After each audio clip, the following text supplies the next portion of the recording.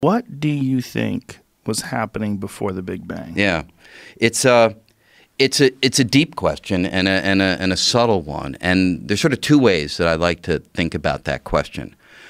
One is it could be that uh, the Big Bang was an interesting event, but not the first event in the totality of reality. It could have been the first event that sparked the expansion of our part of space. But it could be that there's a grander realm of space within which we sit as a small part, and that grander realm may have been there for a far longer period of time. It may have experienced its own big bangs, maybe a collection of big bangs that may extend infinitely far into the past. So it could be that the answer to the question of what happened before the Big Bang is a lot of other Big Bangs or a lot of other quantum events that were taking place in a larger landscape of reality than we have direct access to. However, another answer is that the very question may not make as much sense as the words seem to suggest,